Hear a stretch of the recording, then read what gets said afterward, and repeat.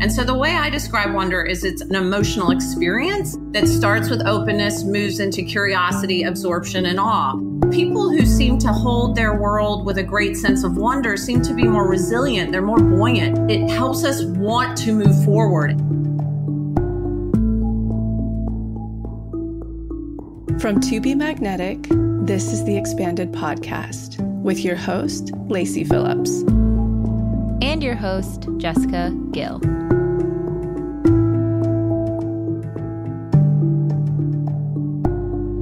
Leading destination for neural manifestation, we dispel the woo woo in order to help you create real, tangible results based on neuroplasticity, psychology, epigenetics, and energetics. Our goal is to normalize the practice of manifestation and empower you to get into the driver's seat of your life in order to manifest the experiences, relationships, and things that most align with your authenticity. Part of our manifestation process entails expanding past your limiting subconscious beliefs.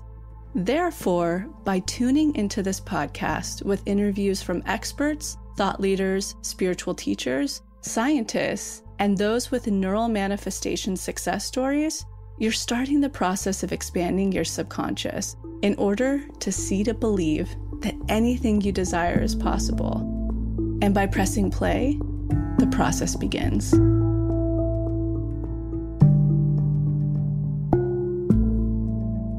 Welcome back, everyone, to another episode of Expanded. Jessica here.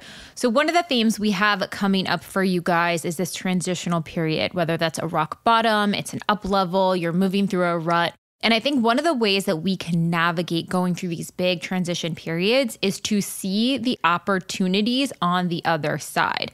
Instead of staring at a corner, wondering why that corner won't change, it's opening up your eyes to other possibilities in the world. And today's episode is going to be a beautiful glimpse into the magic of the emotion of wonder.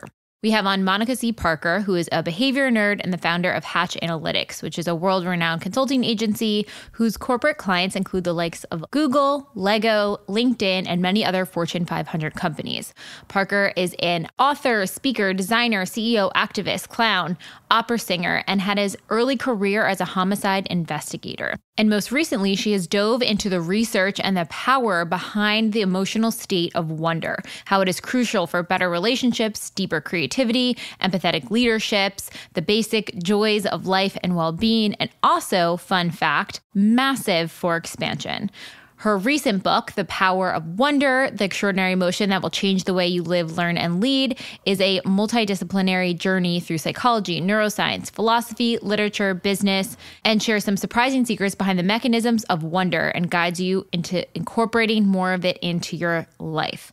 When I tell you I was excited to interview Monica on this topic, my mind kind of exploded understanding the correlation between the moments we have of awe and wonder in the world and how that actually helps our neuroplasticity be open to expansion.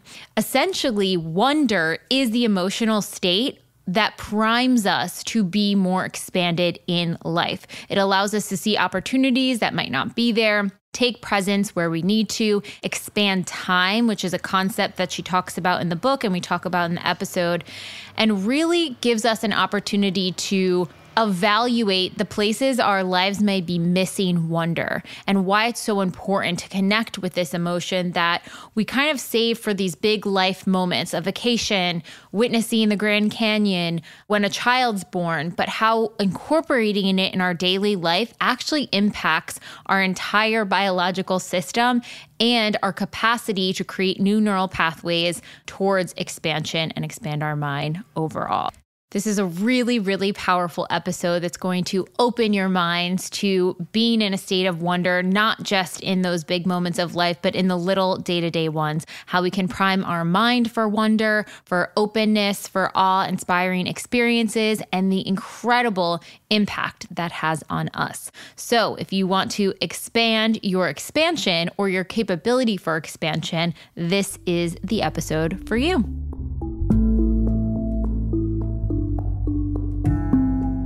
And now, a word from our partners. Lacy here, quickly interrupting this episode to chat through Bon Charge, formerly BLUblox. My favorite product that I think must be one of their most affordable is their blue light blocking clip light. I use it most because, again, our house is mostly candlelight after dusk. And I have to read Teddy books at night before bed. And it was really, really getting challenging just by candlelight. I'm like, how did people do this back in, you know, the 16th, 17th century? And so I use this, I'll just clip it right onto her little books for nighttime reading. And it's really special to watch because you can see her even yawning and tired. So for Teddy to have this protection, obviously we don't do screens with her at all. So she's not seeing any type of blue light and screens. Most of the things in her life are mitigated it's really, really wonderful to watch that she is a complete circadian rhythm baby. She wakes up with the sunrise and she goes to sleep with the sunset. And I really, really love watching when we're reading at night her little books. We do three little books every single night while we nurse before she goes to sleep.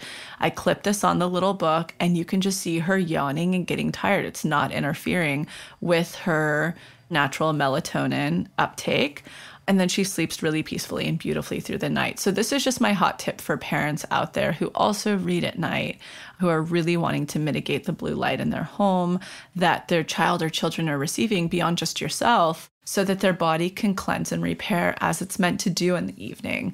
So, this is just my really favorite thing I like to share with other parents out there. It's the blue light blocking clip light and make sure to use the code all caps magnetic M A G N E T I C for 15% off any purchase. That's all caps M A G N E T I C with Bon Charge. If you're not familiar with Bite, they are an incredible company that I think is really, really becoming a game changer in the grooming space. Their product that's really blown me away the most is the toothpaste bites, which is amazing because they come in a glass jar and then they send you the refills in a completely compostable packaging that is zero waste. On top of that, what makes this toothpaste really special is that they have the option of a fluoride, which is an all natural fluoride, or a completely fluoride free version. They also use a mineral that is proven to strengthen and restore our white teeth. I also really appreciate that I think they've really cornered the market and the fact that the Bite toothpaste only has the actual ingredients you need to brush your teeth, none of the fillers or the things to add texture. Many toothpastes have a ton of extra ingredients in order to just create that paste that is completely unneeded in order to stabilize the water in a squeeze. So if you remove the water and make these little pellets, you can remove all toxic and unneeded ingredients, which to me is brilliant. And that's also why I really appreciate Bites deodorant because they have an unscented version. So, somebody who's been on the Bean protocol, like myself, for the last three years, to have that option is really rare, especially in the grooming space. And again, it's something that is refillable. It comes in a really fantastic case. A lot of the other less waste deodorants I've tried, they tend to fall apart really quickly, or you have to carry a jar around and use your fingers, etc., which is fine. However, I really appreciate what they've put into this packaging that you can continue to reuse, reuse, reuse, reuse. So if you would like to check out Bite, go ahead and use the code all caps TBM for 20% off. And again, that's all caps TBM for 20% off. All right, on to the episode.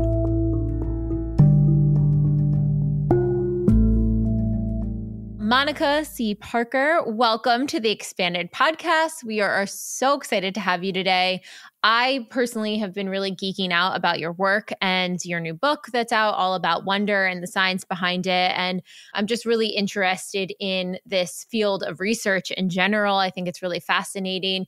And, you know, tying it all back into expanded really is the thing that helps us expand and open our minds to see that new things are possible. So, welcome. Thank you so much for having me and with that lovely introduction. I'm um, I'm blushing a little bit, but yeah, I I look forward to the chat we're going to have. Yes, absolutely. So, one question we like to ask all of our guests is what is your cultural background and upbringing? So, just give a little context help expand others who may identify as a similar background too. Absolutely. I was born and raised in Atlanta, so I'm a I'm a Georgia peach, a southern girl. Basically a very privileged background, very lucky to get a great education from my parents who both worked really hard but then really it pretty much as quickly as i could when i hit my 30s I, I, moved overseas to europe to get my graduate degree. And now i've sort of toggled back and forth between the us and uk and, and france. So I, I think i have a global perspective but at the end of the day i will always have a little bit of a southern twang and i'll always love my mama. So I'll, that's sort of where my roots will always be is in atlanta Oh, love that.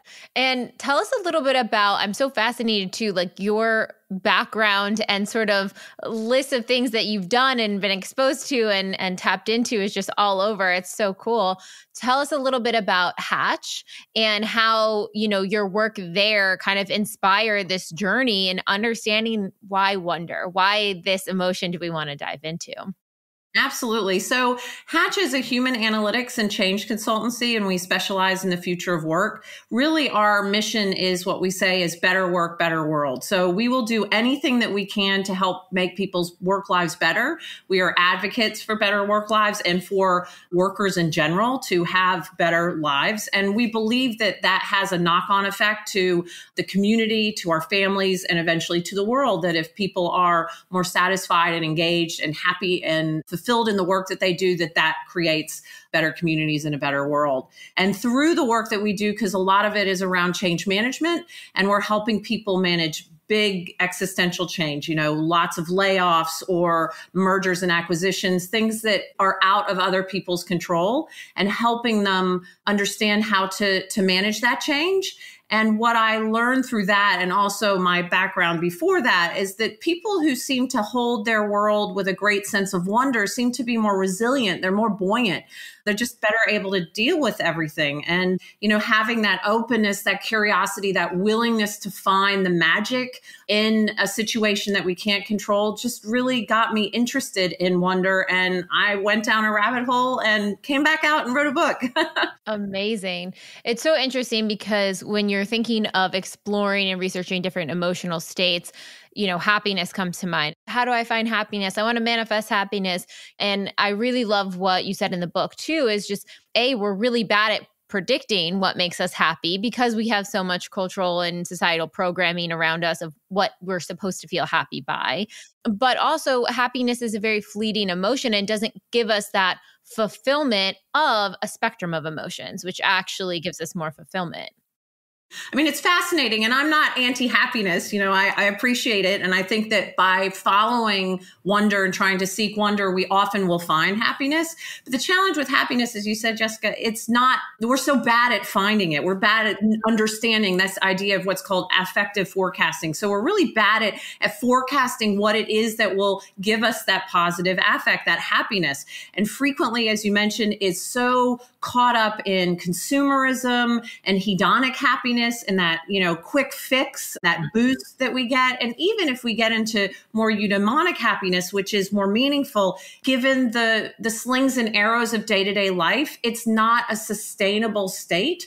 You know, it's hard to be happy when, you know, you're in a car accident. It's hard to be happy when there's a war in the world. It's hard to be mm-hmm. happy when you see the, the COVID numbers, you know, increasing. But what you can be in those points is you can still be in wonder. And what the research shows is that emotions like wonder allow us to have both positive and negative emotions, sometimes even at the same time. And people who are able to hold these almost competing emotions um, at the same time are really much more resilient. They're much more able to move through the world in a positive way and more likely to find happiness at the appropriate points in their life.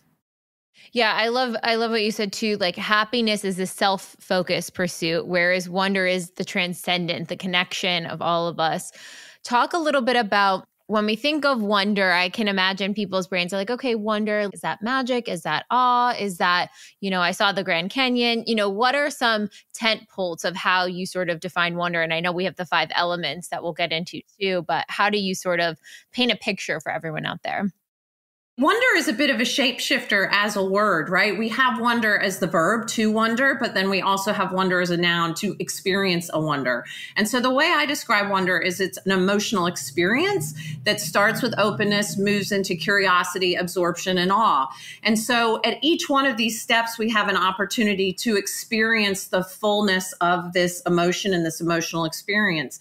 But what we find is that it can be the big moments, those giant ahas, like seeing the Grand Canyon for the first time or the birth of a child.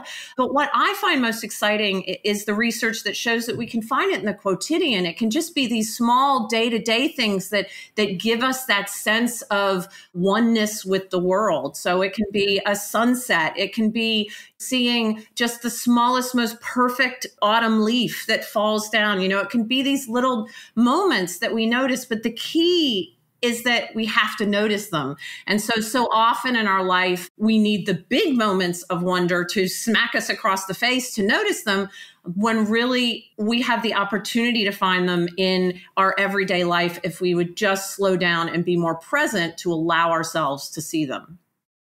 I think, too, you know, this day and age where you had a section on boredom and like allow yourself to be bored. It's okay to be bored. We don't have to have these automatic responses of I'm bored, check my phone, I can be doing this, I can multitask. Multitasking feels good to be doing because you're hitting all these, you know, different dopamine checkpoints. But in a day and in a culture that we are so ingrained to not be present, what are some of the ways that even you found able to cultivate this is where I have the opportunity to either zone out or dip in. I will say that, and I, I, sort of say it at the end of the book I am not a Wonder Jedi Master. I am still on this journey with everyone else who picks up this book. But one of the things that I have found most difficult, but also most rewarding, is limiting the time that I spend on my phone. I mean, I do love my phone. For a period of my life, it almost never left my hand. But I am allowing myself to have that sort of uncomfortable little crawling feeling of, I want to pick it up. Oh, I want to be distracted. I don't want this feeling. And then to just marinate in it and allow myself to feel that. And then all of a sudden, you start to notice everything else. You start to notice the sounds around you. You start to notice even things you didn't see before. And and in that is the real opportunity to experience wonder in day to day life. So for me, that's been one of the greatest ways to be present. Another way is really just to focus on your five senses. I think we're almost overly stimulated in the visual context. You know, we've got now ads that are constantly moving. We have, we can watch anything on our phone. And I think that there's an opportunity to connect more deeply in an oral sense, in an audio sense, and also other senses like even smell in order to to try to step away from the onslaught of the the visual stimuli that we're always seeing. Yeah, I, I think it was on the Huberman podcast, but he had mentioned how it's like so important for screen time to just even go outside and see a vast horizon, which can inspire that awe inspiring wonder moment. And even for your eyes to be able to see that difference from a screen to a vista or, you know, a, a long term plane or something makes a huge difference. Absolutely. As humans, we're really not, from an evolutionary point of view, not meant to be seeing things at you know, only a few inches or a foot away. We're meant to be surveying sort of large uh, amounts of, of space and, and analyzing all of that information. And so I think that that is really helpful. Nature for a lot of people is a wonder bringer. For me, I tend to be more cognitive in my wonder bringers. I'm sort of a nerd. So I like intellectual wonder bringers. And that can sometimes be tough for me because I want to go down these, you know, these Google rabbit holes. And so I have to step back and allow myself to, to be more in the moment and to see everything that is around me. I definitely resonate with that. I had a wonder moment reading your book, uh, I, going down the rabbit hole. I was like, oh my gosh. It's just that, yeah, exactly the wonder experience where you have the moment of, oh, this is what I thought of the world. Now I'm I'm recognizing this new sort of schema or this new way of thinking of things. I can register it differently. And wow, okay, if that means that, oh my gosh, I'm expanded. I, this mind is more vast and larger than I thought it was before. Yeah, absolutely. And I love how you say that. It really is about connecting the dots. And, you know, we talk in the book about this idea of people who have a high need for cognition, who really love having that level of curiosity, love connecting the dots and see the patterns and see the opportunity to sort of follow those patterns to a new way of thinking. I think that our ability to do that, and the more we practice it, the better we get at it, absolutely. And then that allows us to always be adding to our schema and changing the way that we meet and move through the world. Okay, so what are some of the benefits? So I had listed some out from the book, but more creative, more student of the world, humble, less materialistic, more generous, better community members. What are some other ones in there too? Yeah, absolutely. I mean, you hit a lot of the great ones. It, it makes us better friends. People who are higher in the composite elements of wonder um, perform better in school and in work.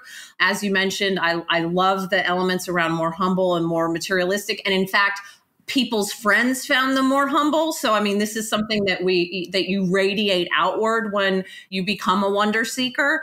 Um, but what i find really fascinating is the physiological impacts as well. Evidence showing that people who experience wonder have lower blood pressure they have lower stress hormones and they have lower pro-inflammatory cytokines. So pro-inflammatory cytokines are the proteins that get triggered when we're ill and they help us make us better. But of course when they're triggered if we're not ill from, say, stress, then that actually will lead to us being sick. And the types of sicknesses that are associated with pro inflammatory cytokines are things like cancer, heart disease, Alzheimer's. And there's a lot of evidence that shows that there's a direct biological pathway between people who have more wonder in their life and then better health.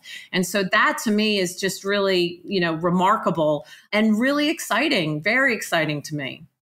I think too this idea that it is shifting from that insular experience to a more universal one. You know, when I think of times of great wonder in my life, it does feel transcendental. You real you realize like everything is beyond this lifetime, this limited belief that I have clouded beneath me or this myopic viewpoint of how I feel about my life in this moment. I'm like, oh, it's so much bigger than this. And it's interesting because when you try to describe the feeling of it, it's so beyond words it, it is ineffable. That is exactly mm-hmm. what it is. It is ineffable and it it defies explanation. And yet everyone has felt it. It is universal. And so it's sort of, well, we know it when we feel it. And that level of connectedness and that idea that there is more.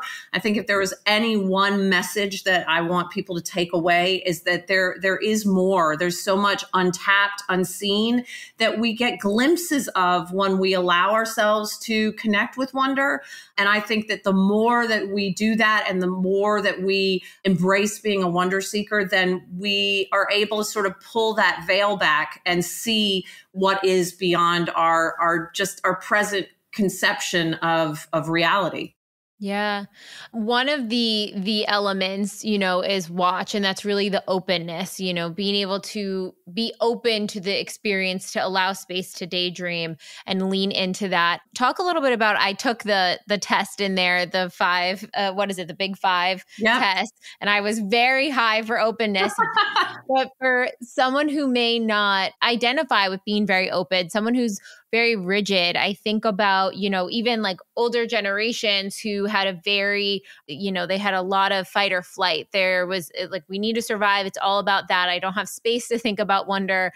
I think about my grandparents' generation being like, therapy. Like, we don't have time for therapy. Like, we were in a war. What are you talking about? Like, that's not on the table. So, people who might have less ability for openness. And I'm curious your thoughts also on openness with trauma and if their high levels of trauma equals you know their body doesn't physically feel safe to be open as well so, a couple of things. Openness to experience is a personality trait, and personality traits are developed pretty much 50 50 by nature and nurture. So, the two people who created us, who were our biological parents, contribute about half of it. And then the other half is from our upbringing and the people that surround us during that period up to about the age of 20. So, by the time we're fully grown adults, 20, 25, our our personality is pretty well set. It's not to say it can't change. There are ways to change it. But one of the things that I want people to feel is that even if you do find that you are a little bit lower in openness, no one is devoid of any openness. And there are ways that we can enhance that, can support a greater degree of openness. One of the primary ways is just to do the same things that someone who is naturally open to experience would be. And one of the key elements that when we talk about being open, we're not talking about being extroverted or bubbly. This isn't someone who's very comfortable going to a dinner party and introducing themselves around. That's not the kind of openness we're talking about. It's really openness to ideas, the willingness to recognize that your concept of the world is going to be different from others and being really interested and desirous of understanding other people's perspective. And so I think that your point about trauma is a really interesting one the challenge is absolutely that when people have had trauma, either during the development of their personality or even afterwards, if that trauma is significant enough to create PTSD, what can happen is that people naturally retreat. And that's actually even what the pro inflammatory cytokines do is that when they're triggered, they tend to make us want to retreat in order to heal. And so we do close off some of our openness. But what wonder does is it helps us want to move forward. It helps us want to step into space with other people and there has been some incredible research around the impact of wonder on PTSD, is that it really helps people to reroute their neural pathways away from the trauma and towards more adaptive functioning. And in that adaptive functioning, to move forward being more open to other people, to experiences with other people, and to new ideas. And so it, it is a very powerful mechanism for supporting openness. And this is one of the things as well in the book that you see a lot of these sort of additive cyclical elements that openness makes you more prone to experience curiosity and awe but then when you experience curiosity and awe it makes you more open. And so you really just sort of have to get on the train.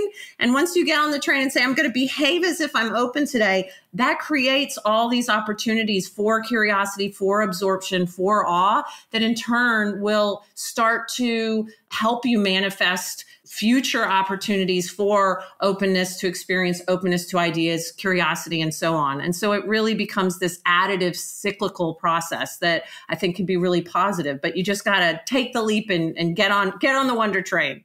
A hundred percent. And it's so funny because I think about, you know, one of our pillars of manifestation is that expansion piece and feeling like, okay, now I see to believe it's possible for me. But I'll have we'll have people write in and be like, oh, I don't have any expanders around me. I can't find them, you know, I'm in a small town, etc to me, that signals their openness is not very wide ranging. Yes. They're not seeing the opportunities and the people and the connections and the potential actions that they could take that might help align them with their goals. And so I think in pursuit of this openness actually helps us manifest more and and more efficiently because we're now seeing the world through instead of oh I can't have this job that I want. I don't know anyone around me who's like that. Instead of seeing every single person around you as an opportunity to learn something now think of that mindset and how much closer that person's going to be to whatever their goal is you hit the nail on the head. I think of so somebody that's in a small town. What happens in that environment is you just start, you believe that you've seen everything there is to see in that, and then there's not enough novelty anymore you know, one of the things we talk about in the book is that we only notice difference. We only notice change, right? And so if you're in the same environment doing the same thing with the same people, what ends up happening is you just stop seeing them. They sort of become part of the wallpaper and they're not really, you don't recognize who they are in totality. You don't recognize the opportunities that exist in your own world. And so one of the things we have to do is really train ourselves to see the novelty even in environments that we think we know everything about because there's no way we can know everything. We can't know everything about other people. We don't know everything about the environments we're in. So it's really about finding those elements that we ignored before and allowing ourselves to see that actually no it's not the landscape I thought it was. It's it's different, it's richer, there's more here. And in that I think is a is a big opportunity. Absolutely. I think too in in partnerships, you know, and marriages and sustaining marriages and and thinking about that, novelty being a big piece of it, but part of the lack of novelty, yes, you know a person on a very deep level, especially after 10, 20, 30, 40 years, but there is still semblance of new novelty because you're both evolving people. You're learning new things, you're taking in new parts of the environment. And so it's the task to find the novelty with the partner that you may be with for a very long time, too there was a chapter that didn't make it in the book because it's already 400 pages, but it is something that we're offering to people um, as a bonus when they pre order. And it's about relationships specifically and compatibility. And one of the things that I think is an interesting way to engage in wonder in your life is to use it almost like a love language. So if you start talking to your partner using the language of wonder and say, This is a wonder bringer for me, I find wonder in this particular activity or an environment what that starts saying is that you are expressing something that is deep and meaningful that has gravitas to you and you're opening the door for them to share that with you as well. And frequently people haven't had that level of conversation. They may say oh i like going to concerts but is it is it a true wonder bringer for you? And if that's the case then you start to go oh well well why is that? Is it the being with other people? Is it the music? Is the artistry? Why? And then you start having conversations that are are just fundamentally different they're richer they're more meaningful and i think it allows you to connect in a way that perhaps you hadn't before so funny as you're saying this, I'm thinking this past weekend I was like celebrating my birthday and initially we had planned to go out to dinner with friends and I got this kind of gut feeling the night before I was like this does not bring me wonder. This dinner is the restaurant we've been to many times with a group of friends we've been to many times. I love them all, but I want something sort of to break me out of that to celebrate my birthday. I want a wonder moment for my birthday. And it it came to my mind. I was like, I love going to the movies. Something about a compelling movie is, is super wonder inducing. And so I canceled the reservation. I was like, guys, we're going to the movies. Strap in for a three hour Babylon film. and so took them there. And it was, and I had that wonder moment of like, whoa, what is this world that is crazy? It is wild. I'm in a theater. Like all that new novel experience really help induce that feeling of wonder. See, and that's interesting because people who lose themselves in films or in books, that's an indicator of someone who's also high naturally in absorption. And so you are definitely somebody who is, you know, more wonder prone. And that is one of those great ways because you're cut off from the rest of the distractions of the world. And it really allows you to become absorbed. And, and that is the gateway. Absorption is that bridge between this world and the transcendent world. And so that when you become absorbed in any activity, it becomes that that doorway that we can walk through to wonder. Yes. Okay, talk about absorption too because I think there's so many so many touch points especially with teaching and learning styles needing to be absorbed in something for it to hit the deep learning state versus surface level learning. And then also, you know, with absorption, I'm curious is absorption could it correlate to like a theta or alpha brainwave state so absorption is it's interesting. So it was first started being researched in particular by a gentleman who wanted to understand why some people were more hypnotizable than others, Auke and he was seeking to understand that that element of the of human nature. And what has now come out of that is that absorption is a little bit sometimes hard to pin down. Some people say absorption might even be sort of hyper powered curiosity, that it's curiosity that now has just been allowed to go down a specific rabbit hole. Some people say that it is very much aligned with a flow state, and it might be that a flow state is a type of very deep absorption. Of course, if we're in a flow state, you generally won't come out of that to feel awe, but it is a precursor to potentially having an aha moment. But I, I find that absorption is the ability for us to lose ourselves in an activity, in a story. People who have a tendency towards high absorption also have sort of, I guess I just describe it as spidey senses. You know, they have that feeling of people being around even though we can't see them. We have that feeling of other people's emotions because we're able to observe them and even put ourselves in the position of other people in a really effective way. So, absorption is sometimes difficult for people to recognize. We want to be careful that we're not confusing absorption with sort of this hedonic information seeking. So, we're not going down Twitter rabbit holes or Google rabbit holes trying to find out more and more information. That will actually, that sort of surface.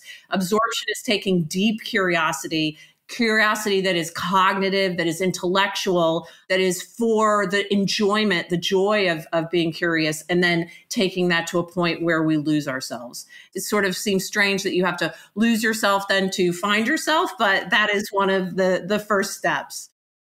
It seems too in that in that state there's a disconnection or an unawareness of the body you're so immersed in whatever it is you're looking at and studying. And i've definitely had that you know with our manifestation work as we're doing research on the back end and learning about different things. I'm like oh my gosh like and i'm so unaware of what's happening in my body in that specific moment which you know if someone is is prone to potential rumination or in self-obsessed thoughts that breaks them out of that in in a strong way too and I think that, you know, you've hit the nail on the head. Um, Mihai Csikszentmihalyi, who was the scientist who developed the idea of flow, he talks about that flow, you divert all of your attentional resources to the activity at hand to the point that you don't feel hunger, you don't feel thirst, your, your physical needs disappear in pursuit of these mental and intellectual, these cognitive needs. And so I think that that is a, a wonderful opportunity to short circuit rumination to get us off that, that treadmill of, of negative thinking, also helps us get off the hedonic treadmill of sort of cycling, looking for, you know, more and more hits of, of some kind of dopamine. And I, I find that it is a, a state that people who are, when we're too, again, when we're too distracted and when we allow distractions to rule our life, it becomes impossible, simply impossible for us to become absorbed. Talk about that sort of dopamine treadmill of sorts as well and what's happening in the brain because the way you described it in the book, I'm like, oh, that is why TikTok in particular is so perfect because you are learning something at a surface amount and you're looking for that hit of dopamine. Like, I want to find a new fact, a new piece of information, a new stimuli to take in. And I think it does it really effectively, even more so than some of the other social media platforms as well. Yeah, uh, and I, I have to say I've managed to stay off TikTok. That probably ages me a little bit, but I definitely feel that way on on Twitter and Insta. There's no question. So when we seek information as animals, there used to be this, it's this idea of a trade off. It's called exploration exploitation trade off. And so we tend to explore for a certain percentage of time and then we exploit the rest. So it tends to be the exploration is, is the smaller period of time and then the exploitation. So about 20 to 80%. So we're exploring 20% of the time and then we exploit what we've learned during the rest of it. But as humans, we don't necessarily have to engage in this exploration exploitation trade off. We can explore just for the joy of it. But the challenge is, is that it creates this as you said, this dopamine feedback loop our brain wants us to find new information and so we go out to seek it our brain is giving us this this drive to pursue this information and when we get it we are rewarded so it get, gives us that little bump but the problem is, is that then we want to continue to explore and then find the resolution and explore and find the resolution. And that becomes sort of this additive, almost, you know, frenzy desire for more and more little nuggets of information. But that sort of curiosity does not allow us to become absorbed. We sort of just stay in that moment of cyclical information seeking. And there's no question that all of the tech moguls know about this science. They're absolutely trying to get us to do that. And the research is also very clear that we are more interested and desirous of seeking information that is controversial. And so they want to feed us stuff that is controversial, that that gets us excited and interested, but in frequently a negative way. I mean, I talk about an experiment in the book where people actually they were given stacks of cards, one side with pictures of rocks that weren't very interesting, but the other side with pictures of of dog poop and they mm. actually enjoyed turning the cards over to get the ew of the dog poop. Like they people were were motivated to find things that were unpleasant. And so our brains will whether it's good for us or bad for us our brains will constantly seek that next hit. And so what we really have to do is sort of step off that that treadmill of information gathering and instead allow us to go deeper to look for the connecting points to look for the the cognitive enjoyment of learning as opposed to sort of those those little nuggets that we're collecting along the way that are just giving us those boosts of endorphins and dopamine I, I, think it's so interesting just knowing people have such a hard time getting off of their phones and and really having compassion almost for yourself. My brain is getting the reward. I understand why this feels good and why this is difficult. And at the same time, how can I put parameters around it to step off this treadmill? I see it as sort of junk food. Like we all have the things that we like and we're allowed to have those. You know, I indulge in some reality TV. You know, that is not helping me get any closer to wonder, I can tell you. But sometimes we just need it. Our brains want that break. The problem is, is that when we become too habituated to that and that becomes our go-to for any kind of relaxation, for any kind of boredom, it becomes a default, then our brain just sees that as the place that we go, as opposed to seeking more deep connection, interaction, exploration, which is where we find wonder.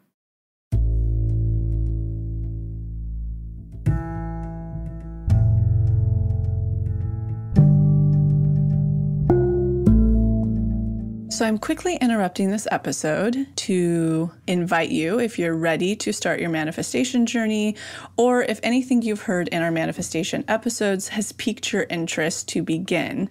We have a la carte workshops in everything from the basics bundle, which is what we recommend to everyone who starts. It's the formula that actually teaches you how to manifest, unblocked inner child, and unblocked shadow. We also have a la carte workshops on love and money, but the real gem is the Pathway membership because it encompasses every single workshop we have. It's a year long membership with full access to the few a la carte offerings we have and exclusive workshops not available anywhere else such as the daily practice, which is what everybody in the pathway uses, hopefully at least three times a week to daily, in order to truly create the new neural pathways that one needs in order to manifest, and houses the library of our deep imaginings, which is our unique hypnosis process that allows you to get into your subconscious and overwrite those old neural pathways, creating the new ones.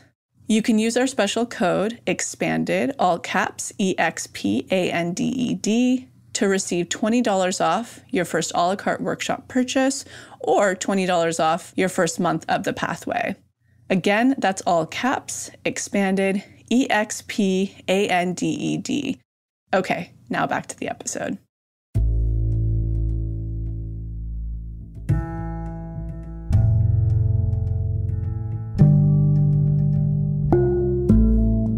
Talk a little bit about schema defining schema understanding schema and and also how those sort of fixed beliefs and systems that and associations that are in there can shift over time and what's sort of required to to shift them so, schema are just basically the building blocks that create our understanding of the world.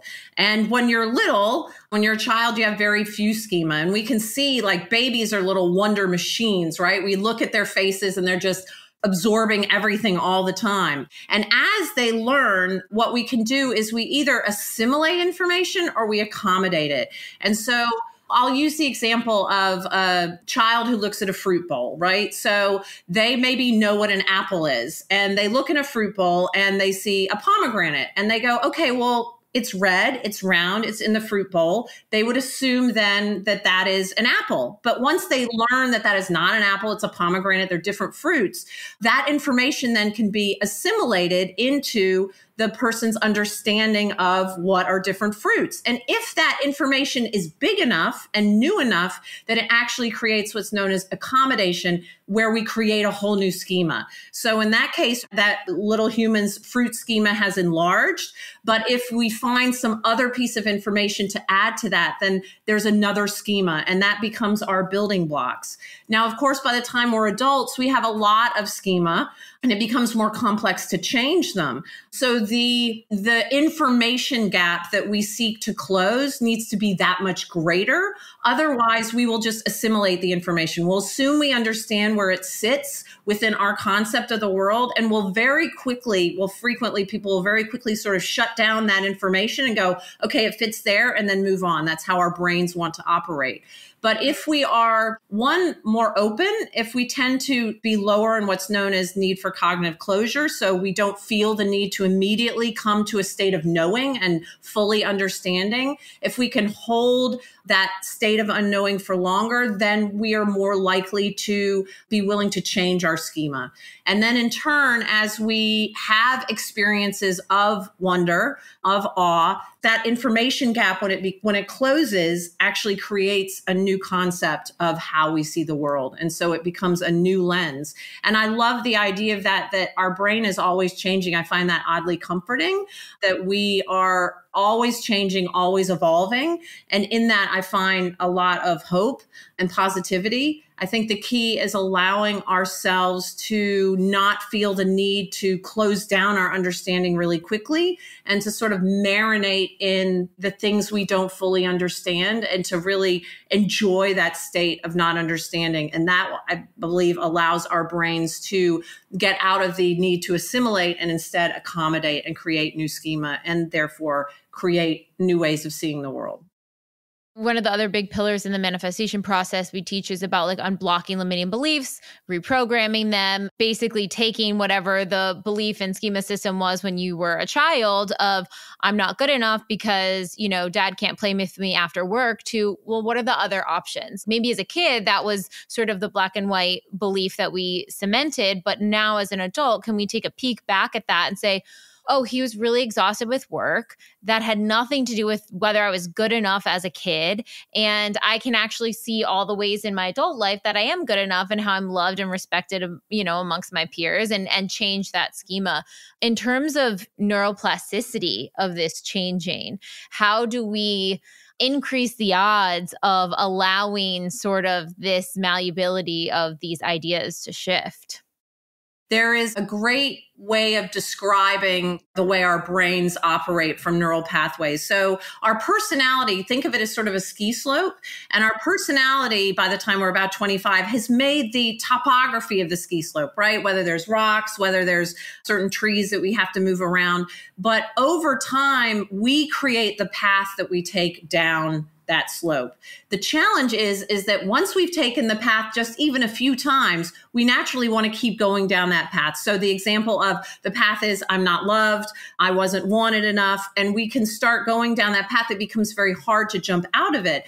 But the way that we can jump out of that is through harnessing moments of neuroplasticity. And there are a lot of different ways to do that. We can do that through novelty. Novelty absolutely helps our brain stay more plastic simple things like wearing your watch on a different arm or brushing your teeth with a different hand anything that gets us out of the the typical way of being taking a different route to work any way that we can try to see the world with new eyes. And then, of course, moments of awe absolutely create a moment of malleability. And in fact, it's why psychedelic therapy is so successful. Psychedelic being a massive expectation violation and a, a massive moment of awe, of that wow and woe of awe. And then that malleability that follows is the opportunity to change your perspective. And it's so great that, you know, it helps people who have existential depression, who have, you know, really almost intractable levels of drug addiction. And I mean, these are really big types of, uh, of changes. Now, I'm not suggesting to to any listeners that they go out and, and experiment with psychedelics, but I think that we can create similar experiences seeking really wonder filled environments and wonder filled experiences and that that does create a level of psychic malleability afterwards that we can fill with whatever we choose to. It's such a spiritual conversation at the same time too because it's really tapping into those moments of interconnectedness wholeness connected to a greater destiny a grander thing that's beyond the self. And i think in those moments that's where we can really see massive ch- like you were saying in the beginning massive change in the world change in the individual changes human society etc and it's interesting because it feels like when you have those moments you do feel like you're, you know, it's its own religion of sorts. You're tapping into this thing where you're like, oh, everything's okay and so much bigger than I could even wrap my head around. And I have to be humbled in this experience because it's so much greater than I could even try to contextualize. I think that one of the biggest benefits of wonder is exactly what you're you're describing what's known in the psychological literature as small self. So this idea that we recognize that we are only just a small component piece of a huge constellation that occurs outside in the world. And of course, when we're going through really difficult times in our life, when we become ruminating, when we are focused on the wrong things, we can become very self focused. And the benefit of wonder is that it helps us see that we are smaller. It actually makes our problems feel smaller and it helps us connect to other people because we recognize that we are just one star in that, you know, galaxy. And I think that that's a really powerful benefit. It also helps us focus in a way that perhaps we hadn't before about the needs of others and that that pro-sociality. Talk a little bit about perception too, and that being sort of contextual. And I think of perception, you know, the key to communication in any relationship really goes down to accepting that perception is based off of the eye of the beholder, the experience of the beholder, and that there are two things happening at once. So many times communication slips up between people because they are assuming there's the one truth, you don't understand my truth, and it's actually two. So, talk a little bit about that and how you touch on it in the book as well the interesting element of perception it sort of touches on some of the things we've talked about before that that it's recognizing that our view of the world is not the only one. And when we have an experience that gives us that small self then we do have a different perception and perspective. But of course part of perception is recognizing the changes the differences and we really only start to see that and i think one of the challenges in relationships also is that we stop seeing the person for who they actually are and we see them for the perception of who we've created them to be. And to your point that we're always evolving, if we occupy too much space in our own, you know, us as, as the ego occupy too much space in our own brains, then that doesn't leave enough space for other people and our perception of other people to change. And so I think that that's sort of the perception element in this world, we'll say on this side of the veil. But then, of course, there is the perception of of what is more, of what is unseen. And I think some people are better able to perceive these other ways of thinking, these other states of being. And that when we're able to tap into that perception, it becomes a really powerful mechanism for connecting to an understanding of our own brains and minds, but also with others. So, if someone has a higher need for cognitive closure, they're going to more likely see things as black and white then. Correct. So then eh, how would someone who might have that need or recognize like, oh wow, I do feel like I'm pretty rigid in my belief systems or being open to new ideas, thus making it harder for me to perceive that, you know, this other person could have a different perception of this situation. What tips or insights or thoughts you have around there? So, need for cognitive closure, a combination of so uh, there's need for cognitive closure and there's need for cognition. These don't sit on a single scale, but it tends to be that people that are higher in need for cognition, who enjoy intellectual pursuits, who like a, a philosophical debate, tend to be much lower in need for cognitive closure. So, they're happy to sit in the unknowing. And then the v- reverse is true. People who really need quick answers and need to shut down and say, This is the answer, I have the single right answer then they tend to be lower in need for cognition. So they don't want to seek more information because that will only confuse and muddle the answer that they've come to. The positive thing is that that's actually quite changeable. Unlike our, our personality traits, we can engage in activities that will increase our need for cognition and decrease our need for cognitive closure. One of the great ways to do that is to simply engage with people that are different from ourselves and try to have conversations with them. I mean, it seems really simple, but that does start to help our brains expand it helps us to connect to other people. Other ways to reduce our need for cognitive closure is again to allow ourselves to sit in a state of unknowing. Do not feel the need to rush to a solution. Allow yourself to to say I don't know and sit in that for a while rather than having to assume that you do.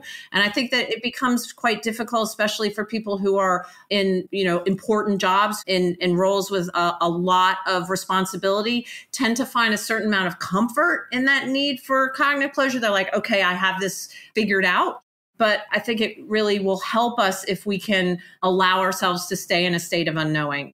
Now, one of the challenges that goes against that is our schooling systems tend to really over index on having that one right answer. And if you raise a child believing that they're going to be measured based on certain tests that are have the single right answer, then they will grow up only seeking that only seeking to fulfill that one information need as opposed to seeking a lot of different opinions and being willing to sit in that unknowing. Uh, when I was reading that section too on schooling, I was like, okay, if you have your kids in standard school, you have to have a philosophical debate with them about things at home. You know try to at least open their minds to something more more of a discourse than just right wrong right wrong you know check whatever a or f you know on their test. It's like well what are the other options here? And i think even you touch on in the book the schooling system in general having you know the schooling system as it is very focused for maybe a certain type of learning but people who are more neurodivergent it doesn't really reinforce their intellect and and how smart they are my fiance's therapist had said that by the time neurodivergent kids are like 11 they would have heard like 7000 bits of negative information about their intelligence and who they are than other kids. Just because of the system and schooling works in a way that operates for a certain brain type versus another which i think is just so fascinating I believe that the school systems do not serve, certainly don't serve everyone, but I, I, actually think that we are in many school systems losing the wonder when, you know, funding is based on how everybody scores on particular standardized tests, and that doesn't allow for nuance. It doesn't allow for gray everything becomes black and white. And i think that for for people who especially for children where they can't even see that way they do see everything as nuanced. They do see a constellation of colors that becomes almost impossible for them to learn. And i i think that as to your point the way that parents engage with children, talking to them, asking them questions. Museums are incredible wonder labs, getting your kids to museums, challenging them, challenging them even on the single right answer to say, okay, I know that's what you learned and that's what you'll that's what you'll regurgitate because that will get you the score.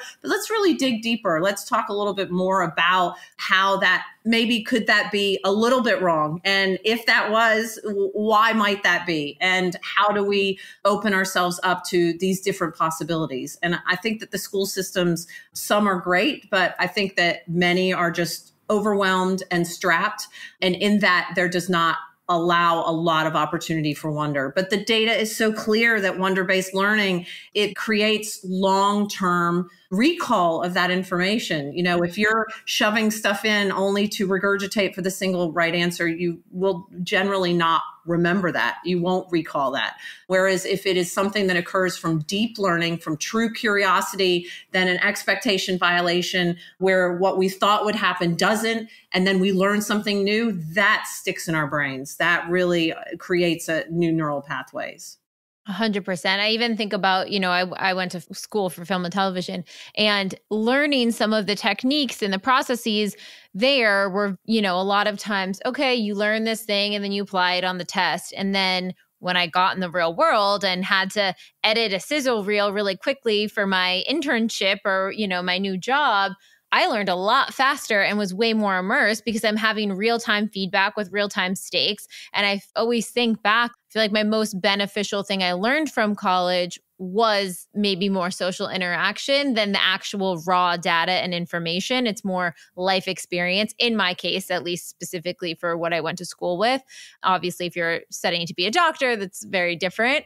But I just think about that too, and and and schooling, I guess, in the modern day, and depending upon what people's careers are. I mean, you've even said people have what is it, 17 different jobs by a certain age point. That's wild. 17 jobs in five industries. So we need to wow. be really adept at, at learning and unlearning as quickly as possible. And that idea of unlearning again we need to be able to move out of those ruts those neural pathways take different routes down that that ski slope of our of our thinking which leads to our behavior. And again to your sort of one of your first questions about well how do we how do we create that opportunity for openness. And really, it's this idea, it's an old phrase that says, you know, neurons that fire together wire together. The more that we do something, even if it feels unnatural to us, eventually our brain will catch up. And so, if there are activities that we want to engage in, if we want to be more open, if we want to be more curious, first you sort of just fake it. You know, you just engage in that behavior, and eventually your brain will will catch up. And I, I think that that's a great opportunity. And obviously, you know, you saw that when you left school that you were saying, okay, that's that behavior is not going to help me. I need to learn a different way. Absolutely we've talked about it in this podcast and on other episodes, but this idea that time kind of slows down and freezes when we're having those terrifying moments, especially in traumatic moments. Obviously, it happens during transcendent moments, it's happening during our awe inspiring moments. Talk a bit about why it slows down or why it feel appears to slow down and why we in a lot of cultures have this sense that time is sped up and we have no time, no abundance of time. It's we're we're running out of time. We don't have enough time in the day. You know, what is the two sensations and how do we slow it down a bit? So it is fascinating. By pure metrics, we do have a lot more time than we ever did, you know, between technology and the freedom of the way that we work, the relative wealth levels um, that people experience. We have a lot more time, but we are filling it with so much other stuff. And that is a conscious choice. Also, as we um, start to equate time and money, then we start to feel even more time poor because we feel that there is a trade off that we're, while we're doing this other thing, we could be making more money. And so I think some of it comes back to a little bit of a consumerist drive as well. But it's fascinating. So we think that we observe and take in a lot more information than we actually do. Our brain cannot possibly remember everything that we experience. There's just too much. There's too much stimuli. And so it filters based on what it thinks is important. So when we're just going through our day to day life, we're maybe laying down, we'll say, you know, 10 memories per minute maybe even 10 memories if we reflect back on it per hour. But when we go through something that is particularly terrifying or awe inspiring or dramatic, what's happening is there was a belief that maybe our brains were speeding up and processing information more quickly. But actually, what it is, is we're just laying down more memories. So I like to think of it as a flip book. So it's this idea that if it's not important, there's only a few pages to the flip book, it goes quickly. But if it's something that is dramatic, then our brain says, Oh, we got to pay attention to this. And it lays down a lot more memories in that flip book of our mind. So when we go back to experience it in our memory, it feels much more intense. We feel like we have so much more detail. And in that, then it becomes a, a fascinating opportunity, of course, to examine that moment in, in greater detail. What I've I found really interesting from the research is that also people who experience awe then feel that time slows down but even if it's little bits of awe will help us feel that we have more time. And that's i think a really fascinating piece of research around that if we are given that additional time also what we will do with that time. So we are then more open to experiential learning to engaging sometimes in in more pro-social activities so helping volunteering things like that. And so it becomes this additive benefit that if we allow ourselves to make the time for wonder that it will actually make us feel that we have more time that then makes us want to pursue more wonder. So it's another one of those sort of positive cyclical wonder moments. Well, yeah. And I even think, too, you know, one thing I try to do is go out on the balcony or my roof where I live and watch the sunset. And that seems to, especially if I'm like, oh no, I can't go out and do it. I have so many things I have to get done. I don't have the time. I don't have the time. And I'm always, you know, I'm not always perfect about it. But I'm like, no, if I go out it will give me clear cognition to finish whatever I need to finish in probably a faster amount of time, even though I took time away to go see the sunset. And probably also, like you were saying before, physiologically, like lowers the cortisol levels, lowers the stress hormones. You know, I'm not in a frantic state completing the rest of my work because I wanted to get to the sunset. No, I go take, see the sunset, have my awe inspiring moment, and then everything kind of melts a little bit wider after that experience will make you feel less rushed when you were returning to that work, a, a, lesser degree of urgency. The research behind it really is fascinating. The way that we capture memories, the way that we perceive time. And again, to your earlier question around perception, I mean, time is the, the perfect example that time is only perception to the person who is experiencing it, and that we have the opportunity to affect that perception through the use of, of wonder and through the use of awe. I mean, that is just so cool to think about. Like, I have so many friends and, and family that always say, like, I don't have time, I don't have time to do that, I don't have time to do that. It's like, make time for the wonder moments, and then you will have time to do it. That is just so powerful. Yeah. And I think, and I feel like this is the point where I have to say that, um, that there are some people who really do not, who are time poor. And I think that there are structural issues in the world that mean that some people's path to experiencing wonder is not as unencumbered as others. So obviously, if you are working two jobs and a single parent, you probably really don't feel like you have a lot of time for wonder. You know, that's a structural issue. But I would say that that most people, if they allow themselves just even a five minute wonder break or a 10 minute wonder walk will come back feeling that they're more able to manage the time pressures, whether they're real or perceived. So powerful. Well, we're about to wrap up here. So tell us about, I know, speaking of time, I'm like, I feel like it was two minutes long. It was so fast. so tell us about the book. Where can they find it? Where can people connect with you, find more, and and all of that? So the book is called The Power of Wonder. You can buy it anywhere that you buy books, and it is uh, available globally. So wherever people might be listening, and it comes out on the 21st of February. I hope that everybody enjoys it. And um, you can find out more information at monica-parker.com. And that's all information about me, how we're applying wonder at work, and how we can find more wonder. Lots of little tidbits that you can find, tips on taking a wonder walk, all of that. So there's sort of a treasure trove of information on that site. Awesome. Thank you so much, Monica. And thank you so much for the work that you're putting out into the world. It's so necessary, so powerful, and yeah, very, very important stuff. Thank you so much for having me, Jessica. It was really it was a it was a wonderful time. Thank you so much for tuning into the episode, and I hope you enjoyed it as much as I did, we did. And in case you're not totally ready to join the pathway yet, I wanted to share a few of our free offerings that I'll often suggest to people as a little bit of a blueprint to get them started on their manifestation journey. The first place I like to direct people completely for free is the motivation. You can see it linked below or on our homepage as our testimony library. And it's categorized by different subjects, whether you're calling in career, money, love, wellness, and much more. When you're reading about a member's experience of what they manifested, you're actually seeing to believe and showing your subconscious that that very thing is possible for you. The second place I like to direct people is to the free clarity exercise, which is also linked below. In it, you get to try our own unique hypnosis process, learn about the science, and some journaling prompts.